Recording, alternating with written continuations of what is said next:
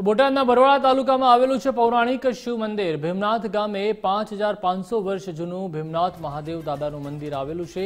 ભીમનાથ મહાદેવ મંદિર ઉપર ચઢાવવામાં આવે છે બાવન ગજની ધજા.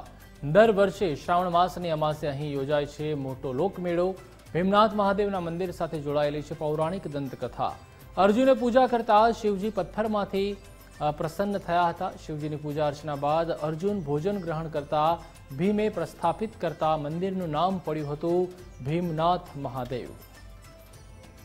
આજથી શ્રાવણ મહિનાનો પ્રારંભ થયો છે અને આ આપ શિવ ભક્તને હું શ્રાવણ માસની શુભેચ્છા આપું છું. અને આજ ખૂબ જ પવિત્ર દિવસ છે અને આ શ્રાવણ મહિનામાં પાંચ સોમવાર છે. એટલે એનું પણ અનેરું મહત્ત્વ બતાવવામાં આવ્યું છે.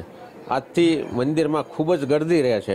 અમને અહીંયા આવીને ખૂબ જ મજા આવે. એમાં પહેલો સોમવાર છે. પહેલા સોમવારને દિવસે પાછું અહીંયા ભીમનાથ મહાદેવના મંદિરે દર્શન કરવા આવવાનું થયું એટલે ખૂબ જ મજા આવે. આમ ભલે ભીડ હોય પણ મજા આવી. હું ઘણા પિસ્તાલીસ વર્ષથી પહેલાં સોમવારે દર્શન કરવા આવું છું. પહેલાં હાલીને આવતો હતો મારું ગામ નાવડા છે.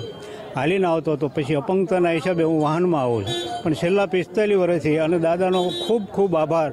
આપણને એટલો અનુભવ થાય કે ના ના દાદાના દર્શન કરીએ જ તે. ત્રણ મહિનામાં જેટલો સોમવારના દિવસે આપણે મહાદેવજીના દર્શન કરવી તો ઉત્તમ લાભ છે એમ. અને આ માસમાં તો કેવું છે કે પાંચ સોમવાર આપણે ભગવાનની આપ્યા છે. તો પાંચ સોમવારે ભગવાનના દર્શન કરીને આપણે ભગવાન ભોળાનાથને ખૂબ જ રીઝવીએ. અને આપણા મનના કષ્ટ ભગવાન ભોળાનાથ બધાય હરવાવાળા ના મંદિર શિખરબંધ હોય આ એક જ મંદિર એવું છે કે ઝાડ નીચે ખુલ્લું મંદિર છે. કારણ કે હૈડિંબા વનમાં ટૂંકમાં પાંડવોની ભક્તિ દ્વારા, અર્જુનની ભક્તિ દ્વારા એની લાજ રાખવા ટૂંકમાં કેવું છે, સ્વયંભૂ ભોળાનાથ પ્રગટ થઈ અને એના નિયમનું પાલન કરી અને પોતાનું ટેક ટકાવી રાખી હતી અર્જુનની. કારણ કે એને નિયમ હતું કે નિયમ વગરની ભક્તિ નકામી, ભલે ફેરવો તમે માળા, નિત હરીને પારખે ઓલા નિયમ પાળવાવાળા. ને નિયમ હતું ભગવાન ભોળાનાથની પૂજા કર્યા સિવાય જમવું નહીં. અને મહાદેવ ન મળ્યા ઉપવાસ થયો અને ભીમે મસ્કરી કરી. મસ્કરી કરતા અર્જુનની લાજ રાખવા સ્વયંભૂ ભીમનાથ મહાદેવ અહીં પ્રગટ થયા.